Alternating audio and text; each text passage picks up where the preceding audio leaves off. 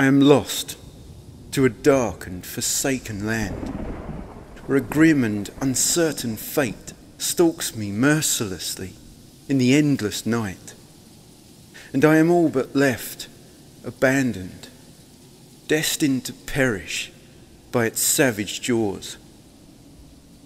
When suddenly, as if from heaven, I see you glowing brightly as a comforting light in the upper window of a secluded house in the distance, and you called to me, urging my continuation through the relentless danger and bravely on towards a resting sanctuary.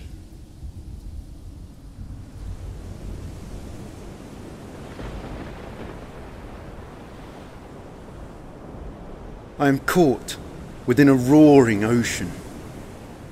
As fierce storms build colossal waves that threaten to crush me beneath their cruel and raging fury. Exhausted, defeated, my head barely above the water, I sense nothing but my own inescapable demise.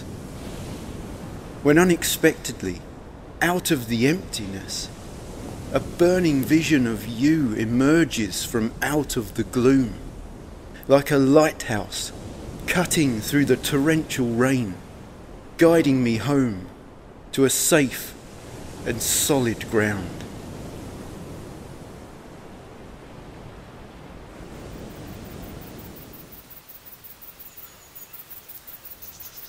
I am concealed beneath the shade of a dense forest, where high above me the creeping branches spread like miserly hands to suppress the sunlight's touch, and I resign myself to remain forever in their shadow.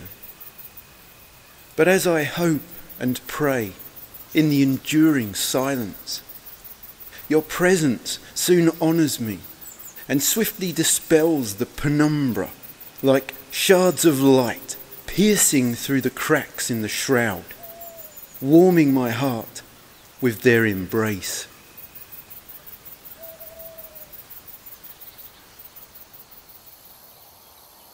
For you will always be the brightest light in my life, illuminating my most darkest evenings with a love beyond limit a care without question, and colouring my most dreariest mornings with an inspiring inner beauty that's beyond rival or equal.